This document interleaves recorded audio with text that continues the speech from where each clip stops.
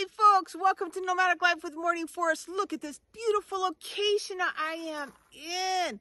Okay, this week's video, I'm going to give you four great tips on how to organize your RV. After three and a half years living this lifestyle, I have actually come up with several ways to organize your RV. I'm going to give you four tips to help you show you the inside of my RV on how I organize it and we'll see if you can get some tips to help you out for your lifestyle, being nomadic or not. Stay tuned, folks. Stay and this is the organization of my clothes. I use these little material dividers, roll up the clothing just at the right length, and as you can see, two, four, six, eight, 10, 12 t-shirts and probably about eight long sleeve t-shirts and thermals. I have two, four, six, eight pair of pants and that's just in one cabinet. And for the packing cubes, I put my underwear, probably about 20 pair in here, believe it or not, nice and rolled up. And my trick to getting stuff to fit is actually measuring it. And I can bring it out even though the cubes aren't this big so I can bring it out another two inches if I fold my clothing properly. And that gives you two more inches and in a small space two inches times this whole space is actually awesome. And the packing cubes go in this space beautifully. Pull one out you can get what you need. They stay nice and compact. And it's still in the box system. On the other side, I have lots of sweaters. I actually have several pairs of shorts. And then I have my work bag for all of my emergency medical service uniforms. And if I didn't have this bag and have to carry stuff for work, I would be pretty good. A lot of room. I find that organizing twice a year going with the season really helps to purge your items. And in the kitchen, I use these plastic bins to keep my plates in. Keep my salad, collapsible salad bowl right in here. I can just pull it out, pop it out, and that keeps the dishes from rattling a whole lot.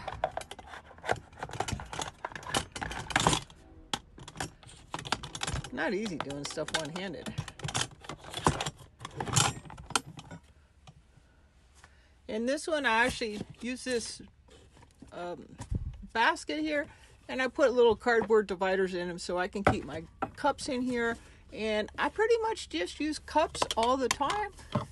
I do have a couple long ones up in here that I keep for colder liquids and stuff, but I don't mind just drinking out of any device possible. Keep my coffee up here. This is the stuff I have for that are pre-ground and then my olive oil, a few other little spices back here. I keep bowls back in this cupboard, back in this part, and I do keep little um, sticky stuff in between them.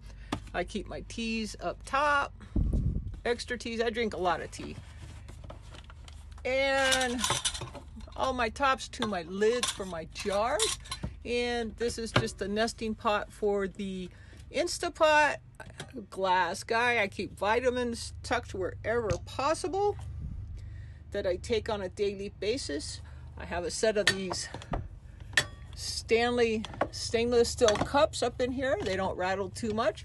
And what I decided to do was put a bungee cord to this basket and it helps hold everything in. So I don't have to go all the way across and, and it's real easy to unhook from the corner of the baskets and I don't have a problem using it that way. And keep my coffee filters.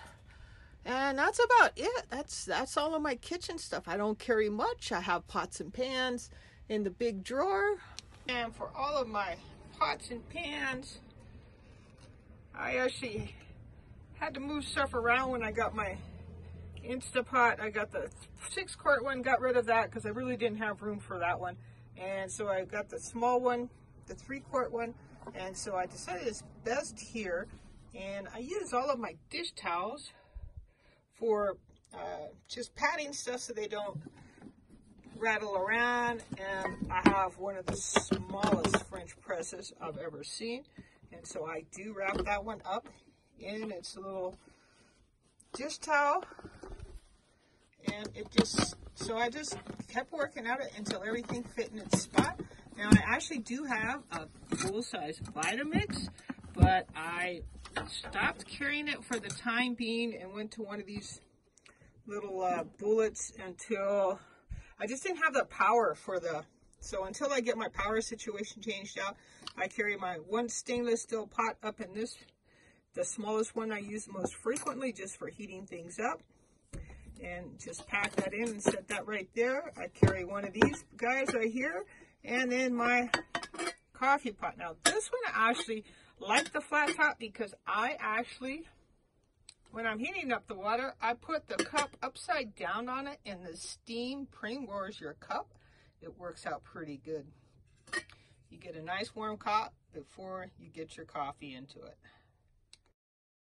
Tip number two, have a place for everything where its permanent home is.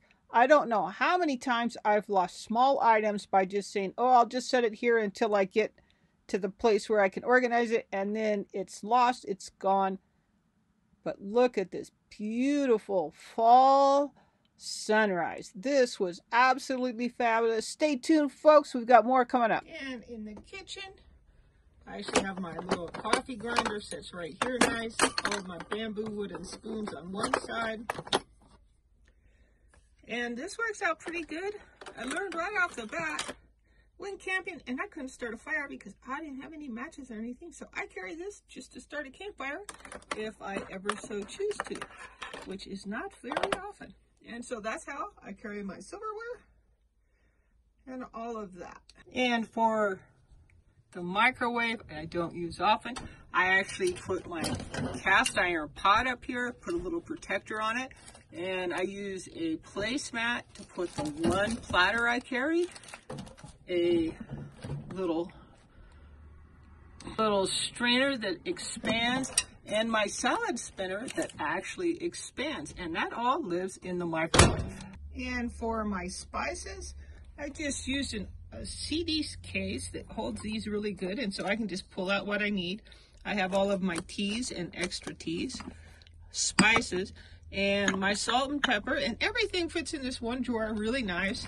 I carry odds and ends back here. Um, and in the bottom drawer, I like these. I've had them forever. I had them before I moved in the RV, so you can tuck, nest, nest them in each other. And I do when I need to keep my drawers in here. I carry mostly glass. These I've carried, I have carried for quite a while. They're little expandable silicone uh, storage containers for leftover food. I carry a glass old guy had it, so that's what I carry, and it hasn't broken yet. And I carry a couple metal pans for my solar cooker. And that's in the bottom one. It all stays pretty nice without breakage. And I can pretty much keep it from not rattling. The biggest problem is these drawers do not stay closed. So I've replaced the brackets from the factory many times. I am trying to think of a different solution. Tip number three, use as much vertical space as possible. As you can see coming up, I found a way to make that work. And behind the TV, I actually did replace this TV. It was a little bitty old uh, 12 volt TV. So this is a a Samsung regular power, so unless I'm plugged in somewhere, I don't watch it, which is pretty much all the time. And I put it on, I rack myself, went, uh, put a supporting board behind this bracket here, and that way I can swing tilt my TV out. And with the space that was behind that you could not access before, I put on my owner's manuals for the RV, I actually have little tool bags, uh, parts supplies, and then little extra things that I'm working on up here. So I carry this little toolkit. It has the most used items in here. And the best part about this one, we're to do this one-handed, is it just zips right up. So zips right up without a problem. And I just keep these in this basket and then close the TV up.